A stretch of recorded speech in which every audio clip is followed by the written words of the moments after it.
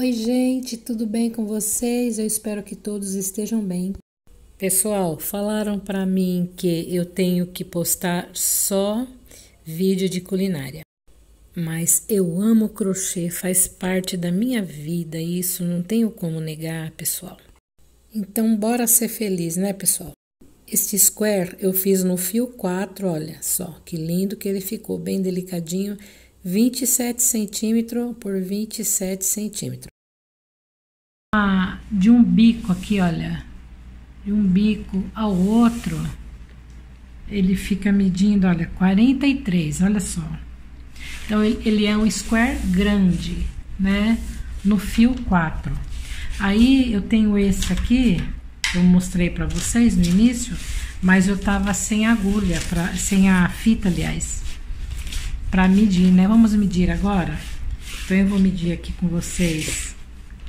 Olha aqui. Dá 29, 29, lá deu 26, né?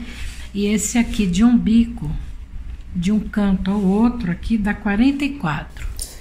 Como vocês podem ver, deu bastante diferença, né, pessoal? De agulha e fio. Porque esse aqui eu fiz no, com o fio 6 e com a agulha número 4. Tá dando uma sombra aqui, né, pessoal? Aqui uma sombrinha. Eu, olha só. O ponto como que fica, né? 6 com agulha 4. E esse aqui eu fiz com o fio 4 com agulha 3,5.